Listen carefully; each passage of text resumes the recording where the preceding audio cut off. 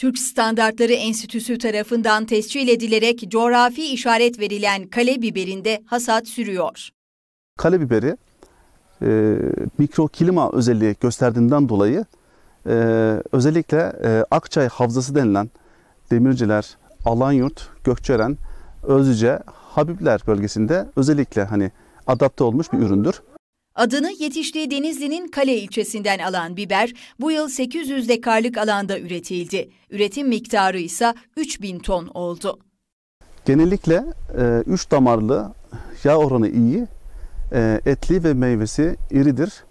E, saman sarısı hafif yeşilimsi e, renktedir. Biz burada e, 800 dekarlık alanda e, 3500 ton e, civarında yaklaşık yaş biber e, üretimi yapmaktayız.